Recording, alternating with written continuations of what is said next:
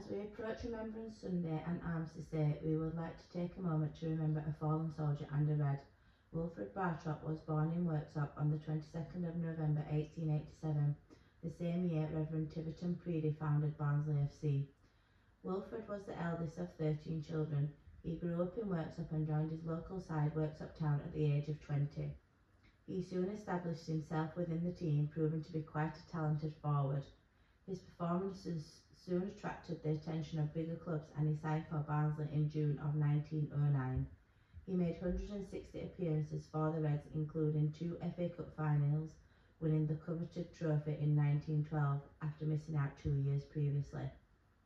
Many newspapers at the time, including the Manchester Guardian, praised his performance.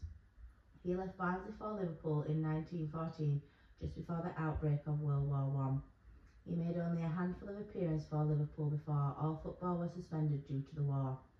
He moved back home to Nottinghamshire where he helped the war effort and became a miner working down Manton Colliery, a local pit in Worksop.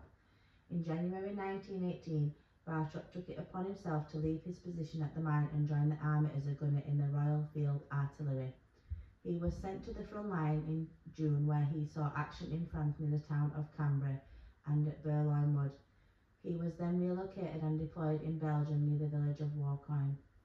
On the 7th of November, four days before peace was declared, his division came under heavy fire and they were unable to find adequate cover. Tragically, he was fatally wounded. He was laid to rest in Walcoin where he is only one of four Commonwealth soldiers buried in the churchyard. Although Wilfred's story is interesting, it is not unique.